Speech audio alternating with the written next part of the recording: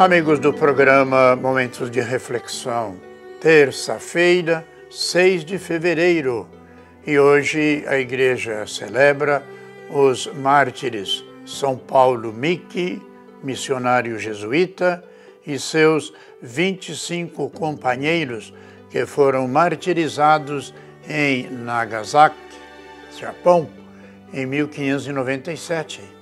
Sofreram todo tipo de humilhação, testemunharam o amor a Cristo, sendo martirizados na cruz.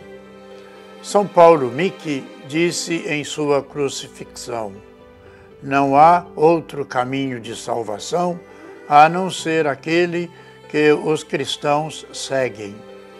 Foram canonizados em 1862 pelo Papa Pio IX. São Paulo Miki é o padroeiro do Japão Pensemos na coragem do testemunho de nossa fé nestes mártires que deram a vida por fé em Jesus Cristo. E nós vamos meditar no Evangelho de Marcos, no capítulo 7, os versículos de 1 a 13. Naquele tempo, os fariseus e alguns mestres da lei vieram de Jerusalém e se reuniram em torno de Jesus. Eles viam que alguns de seus discípulos comiam o pão com as mãos impuras, isto é, sem as terem lavado. Com efeito, os fariseus e todos os judeus só comem depois de lavar bem as mãos, seguindo a tradição recebida dos antigos ao voltar da praça, eles não comem sem tomar banho e seguem muitos outros costumes que receberam por tradição. A maneira certa de lavar copos, jarras e vasilhas de cobre. Os fariseus e os mestres da lei perguntaram então a Jesus: Por que os teus discípulos não seguem a tradição dos antigos, mas comem pão sem lavar as mãos? Jesus respondeu: Bem profetizou Isaías a vosso respeito. Hipócritas, como está escrito: Este povo me honra com os lábios, mas o seu coração estão longe de mim. De nada adianta o o culto que prestam, digo, o culto que me prestam, pois as doutrinas que ensinam são preceitos humanos.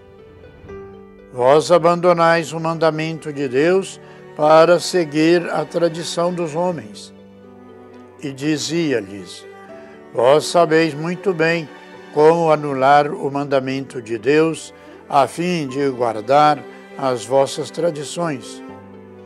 Com efeito, Moisés ordenou: honra teu pai e tua mãe, e ainda, quem amaldiçoa o pai ou a mãe deve morrer.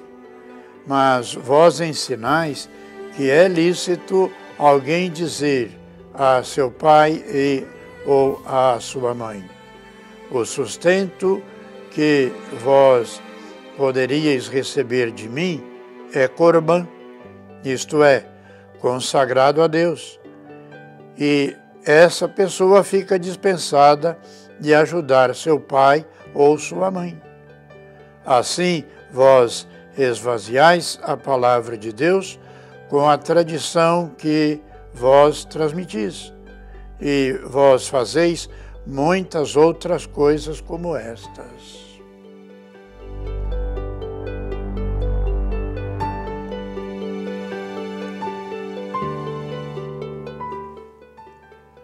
Pois bem, caros irmãos e irmãs, iniciamos a nossa reflexão de hoje com uma pergunta feita a Jesus. Por que os teus discípulos não seguem a tradição dos antigos? Como explica o evangelista Marcos, os judeus tinham muitas tradições religiosas, ou melhor, culturais. Nada de mal havia nisso. Mas também temos, e nós também temos muitas tradições e usos religiosos e culturais, como católicos, principalmente nós, os brasileiros. Não há nada de mal nisso, desde que não demos a esses usos e costumes um valor divino e absoluto, como se fossem obrigatórios para todos os cristãos. E não julguemos ninguém a partir da aceitação ou não desses usos e costumes antes de condenar, é preciso compreender cada fato entre nós.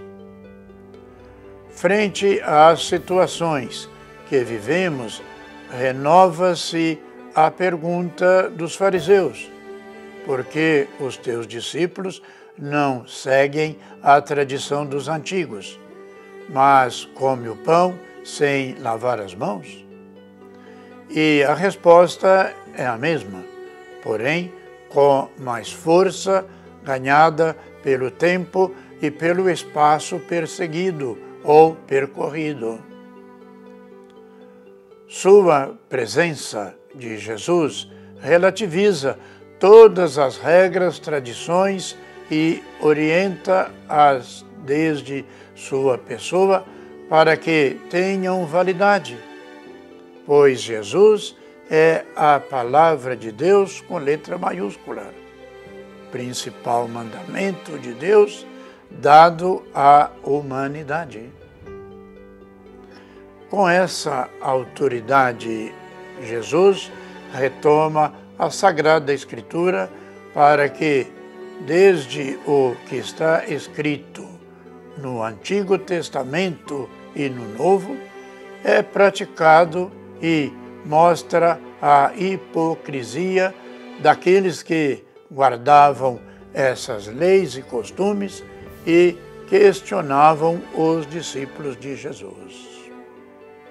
Jesus faz-nos entender que nosso costume e tradições devem seguir de surgir de um coração nobre e generosamente misericordioso, e não de uma enraizada piedade externa e ritualista, que nossos costumes e tradições sejam baseados em Jesus Cristo e não numa lei morta de determinadas prescrições.